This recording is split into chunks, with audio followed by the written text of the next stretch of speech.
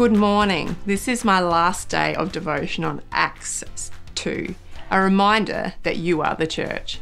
Acts 2:46 says, "Day by day, continuing with one in mind in the temple and breaking bread house to house, they were taking their meals all together with gladness and sincerity of heart, praising God and having favor with all people, and the Lord was adding to their number day by day those who were being saved." See, being the church is living your life for Christ, demonstrating God's love for by serving others and sharing your faith with people. How have you done that this year? How have we done that at Hope Central? We've done it in our homes. We've had to do it in our homes. See, by simply opening our homes to believers and non believers, this passage says that God will add to our number. All we need to do is feed people, have sincerity of heart, and be thankful to God.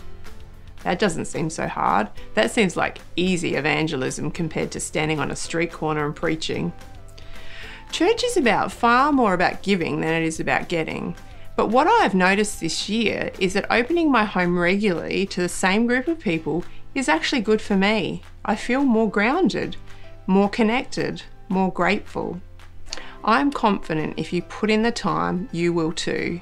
So before you launch into your day today, can, who can you open your home to?